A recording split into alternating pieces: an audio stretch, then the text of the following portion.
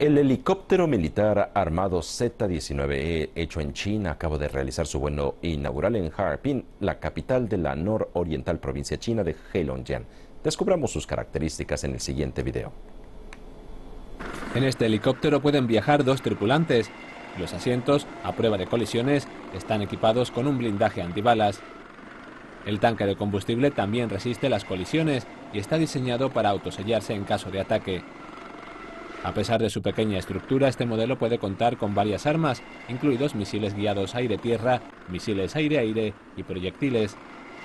Esto permite al helicóptero ofrecer apoyo aéreo ofensivo y destruir vehículos blindados, incluidos misiles antitanques. Se comenta que los modelos Z-19 podrían usar en el futuro tecnología de vuelo silencioso. Estos helicópteros están diseñados para ser exportados a otros países. CGTN en español.